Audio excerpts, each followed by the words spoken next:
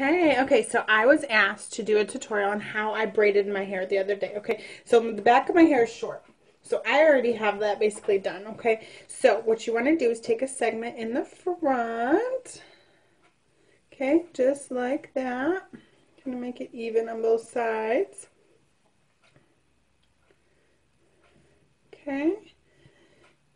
Now I'm just gonna clip these longer pieces in the back so I don't get them tied up in what I am doing. So we are going to French braid our hair forward. Okay, I'm just going to run a brush through it, get all the tangles out. Okay, so we're just going to start French braiding. And I am no professional at French braiding at all. Um, I can hardly French braid. So I am no pro. You can probably do this better than I can. We're just going to start French braiding our hair. See, I don't even know what I'm doing.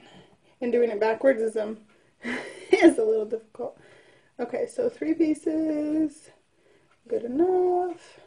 And then I'm just going to keep adding to it just like a regular French braid.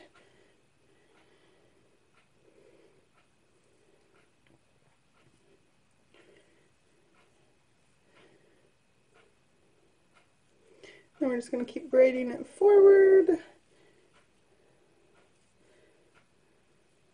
Adding to it just like a regular French braid.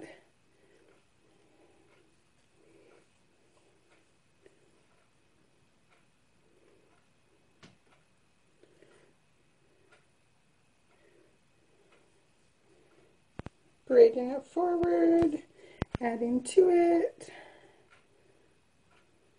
This is probably my last one that I do. The rest of that hair, maybe I have enough for one more.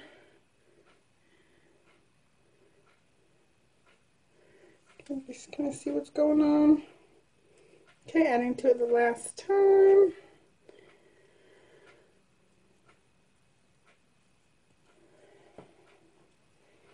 Okay, and then we're just going to braid the rest of this out.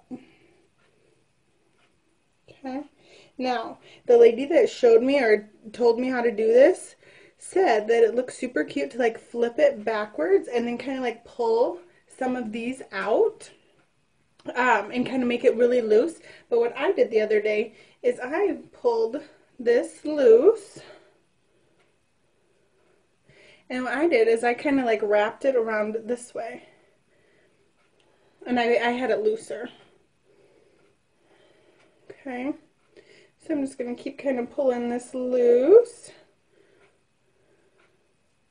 And so you can either like pull it like back into like kind of like a bump and like make it real loose and, and fun, but my hair's not really long enough for that. So that's why I kind of just pulled it off to the side.